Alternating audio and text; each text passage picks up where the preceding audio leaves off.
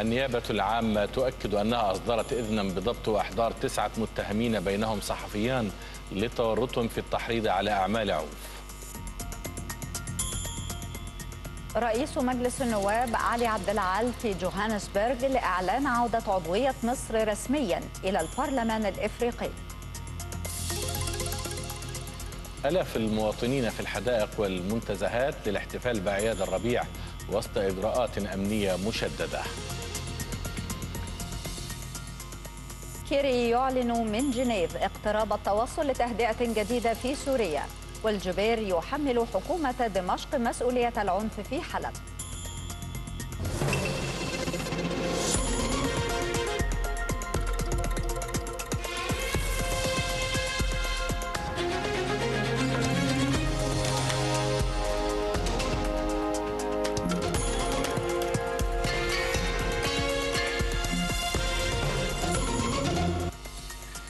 لكم مشاهدينا الكرام وكل عام وأنتم بخير. الرابعة بعد العصر في القاهرة نشرة إخبارية جديدة من قناة النيل. مرحبا بكم. أصدرت النيابة العامة اليوم بيانا أوضحت فيه تفاصيل القضية المتهم فيها الصحفيان عمرو بدر ومحمود السقا اللذان ألقي القبض عليهما من داخل نقابة الصحفيين مساء أمس في ضوء الإذن القضائي الصادر بضبطهما وإحضارهما وسبعة متهمين آخرين. وذكر البيان الصادر عن مكتب النائب العام اليوم أنه بمناسبة التحقيقات التي تجريها النيابة العامة في القضية المشار إليها فقد أصدرت النيابة في التاسع عشر من أبريل الماضي إذنا بضبط وتفتيش جميع المتهمين التسعة وتفتيش محل إقامتهم لتورطهم في التحريض على أعمال عنف خلال الاحتفال بذكرى تحرير سيناء.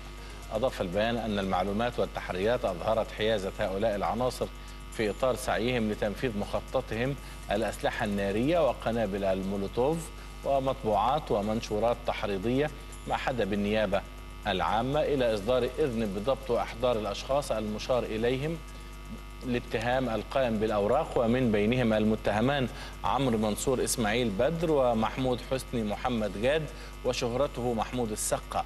وأكدت النيابة العامة أنها هي التي تتولى التحقيق فيما سبق بيانه من وقائع ولذا فإن أي بيان أو معلومات تخص هذا الأمر يتعين أن تكون صادرة عن النيابة العامة وحدها وهو ما يلقي التزاما على جميع الأطراف بمراعاة ذلك فيما يصدر من معلومات حرصا على سرية وسلامة التحقيقات والنأي عن الدخول في منحا قد يؤدي إلى مخالفة القانون. أكدت وزارة الداخلية أنه لم يتم اقتحام نقابة الصحفيين بأي شكل من الأشكال أو استخدام أي نوع من القوة في واقعة ضبط وإحضار كل من عمرو بدر رئيس تحرير بوابة يناير الإلكترونية ومحمود حسني وشهرته محمود السقة وهو طالب ومتدرب بنفس البوابة. وقال بيان لوزارة الداخلية إن المذكورين المقيمين في دائرة مركز شبين القناطر بمحافظة القليوبية متهمان في قضية التحريض على خرق قانون تنظيم حق التظاهر والإخلال بالأمن ومحاولة زعزعة الاستقرار بالبلاد. وأكد بيان الداخلية أن النيابة العامة طلبت الاستمرار في تنفيذ ضبط وأحضار المذكورين وعرضهما عليها بعدما ورد ما يفيد باختبائهما داخل مقر نقابة الصحفيين.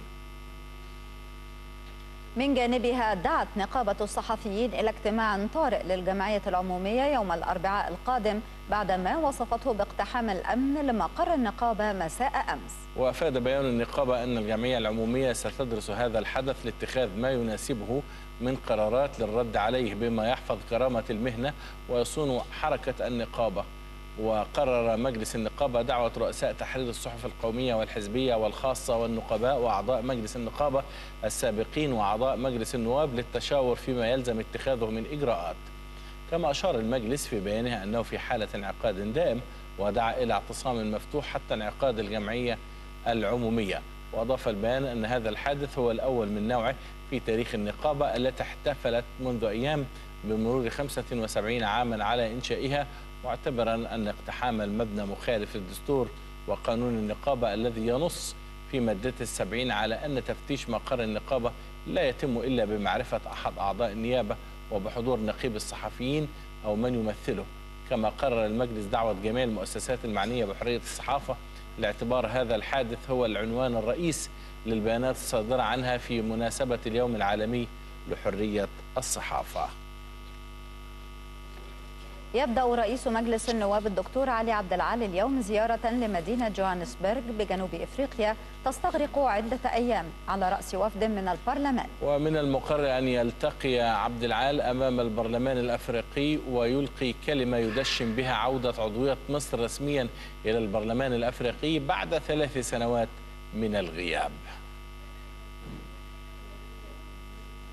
وللمزيد من المتابعة تنضم إلينا عبر الهاتف السفيرة منى عمر مساعد وزير الخارجية الأسبق للشؤون الإفريقية. سيادة السفيرة بعد التحية أهمية عودة عضوية مصر رسميا إلى البرلمان الإفريقي بعد غياب ثلاث سنوات. هو طبعا الأهمية بتتمثل في تعزيز التواجد المصري في أفريقيا في كافة المحافل على مختلف مستوياتها ومختلف أشكالها. فالبرلمان الأفريقي ده بيبقى متواجد فيه كل برلمانات الدول الأفريقية وفود من كل برلمانات الدول الأفريقية. وبالتالي الاتصالات من خلاله من شأنها اولا تعزيز العلاقات الثنائية بالإضافة لأنها هتكون وسيلة طبعا لتعريف الدول الأفريقية ب يعني الأوضاع في مصر وشرحها. بدل ما هو يكون في أي سوء فهم لما يحدث نعم سيادة السفيرة ما هو تأثير غياب مصر عن البرلمان الإفريقي خلال الأعوام الثلاث الماضية؟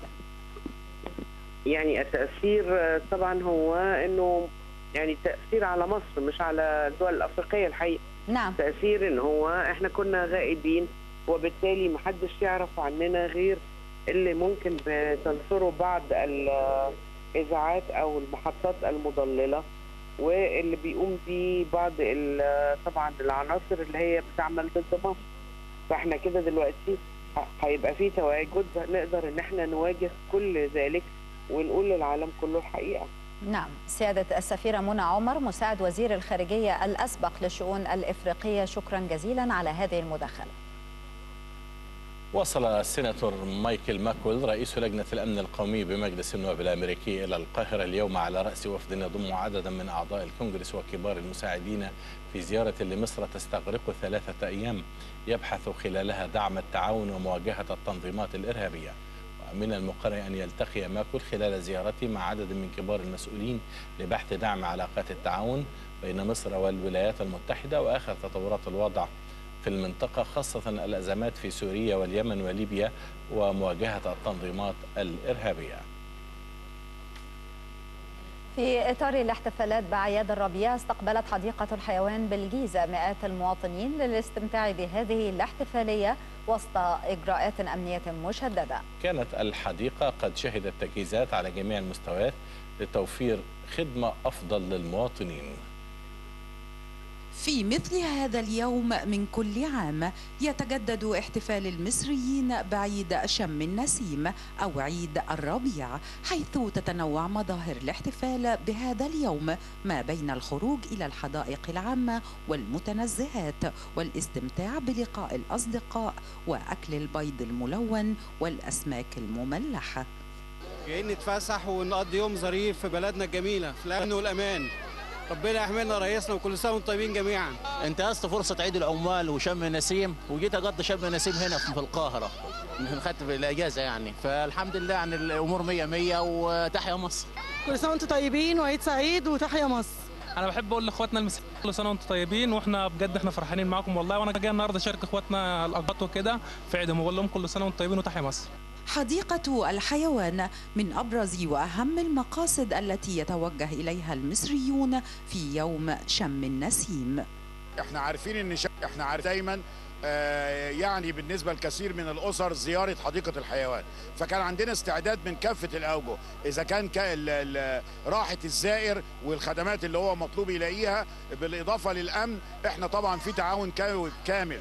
ما بيننا وما بين مديرية أمن الجيزة تعاون كامل ما بيننا وما بين مرفق الإسعاف. أنا بحب أجي جنينة الحيوانات عشان أكل الفيل وأكل الزرافة وأكل البط وألعب أنا وأصحابي وربنا يخلينا بحب أشوف الأسد والزرافة والفيل والقرد بحب أشوف كل حاجة. إحنا بنحتفل بشم النسيم يوم كده ترفيه عشان إحنا موظفين وما بنلاقيش يوم راحة فبناخد الأولاد نتفسح بيهم ونهويهم ون- ونهويهم.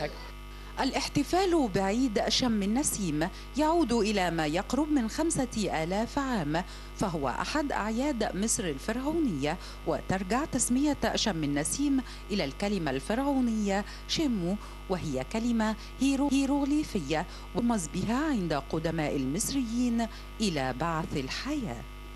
في كل عام يتجدد اللقاء بين المصريين وعيدهم الأقدم. عيد شم النسيم الذي يمثل متنفسا للمصريين كافة لاستعادة النشاط والحيوية واستقبال أيام جديدة تحمل التفاؤل والسعادة والخير للجميع. أمل صبري النيل. ولمزيد من التعرف على حركة المواطنين في احتفالات عيد شم النسيم والربيع معنا مراسلنا الزميل حسام الدين عاطف من محافظة بورسعيد. حسام أرجو أن تنقل لنا الأجواء لديك وصور احتفالات المواطنين بعيد الربيع والجهود التي تبذلها المحافظة والسلطات هناك لمشاركة المواطنين هذه الفرحة وهذا العيد.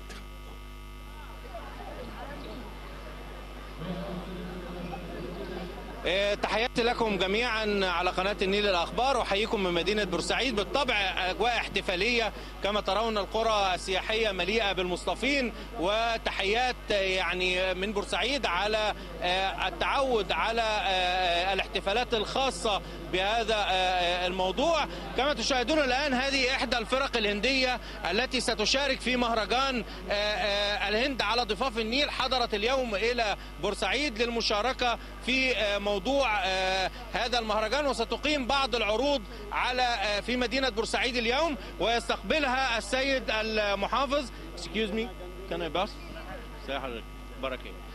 يعني معايا اللواء عادل الغضبان محافظ بورسعيد. الآن سيادة المحافظ طبعا كل سنة وأنت طيب. بورسعيد معروفة باحتفالاتها وإحنا النهارده كمان عندنا احتفالية تانية. يا ريت تقول لنا أخبار احتفاليات بورسعيد إيه وإيه الاحتفالية اللي طالعة معانا النهارده؟ لا هي بورسعيد بقالها شهر شغالة في حالة فرح وحالة نشوة كده إن إحنا الحمد لله بنسوق بلدنا. بورسعيد داخلة على معترك سياحي عظيم وكبير جدا. مشروعات التنمية اللي بتتم في شرق بورسعيد رفعت من تصنيف مدينة بورسعيد عالميا. وإحنا ان شاء الله بورسعيد بتتحول دلوقتي لمدينة سياحية عالمية ان شاء الله. وفي أقل فترة ممكنة هشوف بورسعيد حاجة تانية. بورسعيد بتتميز بموقعها ربنا حبايب صحيح. النهارده في شم النسيم الناس جايين من آخر الدنيا من جميع محافظات مصر ومن خارج مصر. جايين بيحتفلوا بشم النسيم. امبارح بالليل جميع محافظات مصر وجميع الدول اللي هي بتحب وبتعشق إن هي تقضي شم النسيم في بورسعيد كانت موجودة عندنا وبورسعيد كانت عايشة امبارح والنهارده في حالة عرس كده عظيمة. وأنا بشكر كل الزائرين الموجودين في بورسعيد بقول لهم أهلا وسهلا بيكم فنادقنا كلها مفتوحة ايدينا لحضراتكم إحنا الأسعار عندنا ارخص أسعار موجودة في جميع المحافظات. عندنا طبيعة ربنا حبانا بيها بحر متوسط قناة سويس بحيرة منزلة. تنوع في جميع أماكن السياحة. بالإضافة أن عندنا كل أسبوع بيجي لنا من واحد لاثنين مركب سياحة بيشوف الدنيا كلها عندنا شكلها طيب سيادة المحافظ يعني في احتفالية النهارده زيادة عندنا ضيوف من الهند آه جايين يعملوا احتفالية. آه هم طبعا بيقولوا مصر كلها بس يعني إن هم يجوا بورسعيد ويقدموا للشعب البورسعيدي ثقافة جديدة. لا طبعا بقول لحضرتك حاجة مش الهند النهارده مشرفينا النهارده بورسعيد لا. ده كان من ثلاث أيام كان في مهرجان الطبول العالمي كان موجود عندنا في بورسعيد. كان موجود عندنا من إندونيسيا وموجود عندنا من تونس. وقبل كده كان من تونس والمغرب والجزائر كانوا مشرفينا النهارده معانا فرقة النوبة اللي جاية من النوبة شغالة عندنا هنا في بورسعيد وعرضت فولكلورها الشعب العظيم. لا بورسعيد عايشة اليومين دول في حالة إحنا كنا مفتقدينها من زمان. وبقول لكل ضيوف النهارده كل سنة وأنتم طيبين. وأنتم مشرفين أهل بورسعيد النهارده وبورسعيد بتقول لكم أهلا وسهلا بيكم كل يوم. تمام. اسمح لي أرجع لحضرتك تاني. آه عرفني حضرتك عصام عبد المنجي مدير العلاقات الثقافية بسفاره الهند. طيب آه فكرة آه الثقافة الهندية تعريف الشعب المصري بيها وإن هم يجوا يزوروا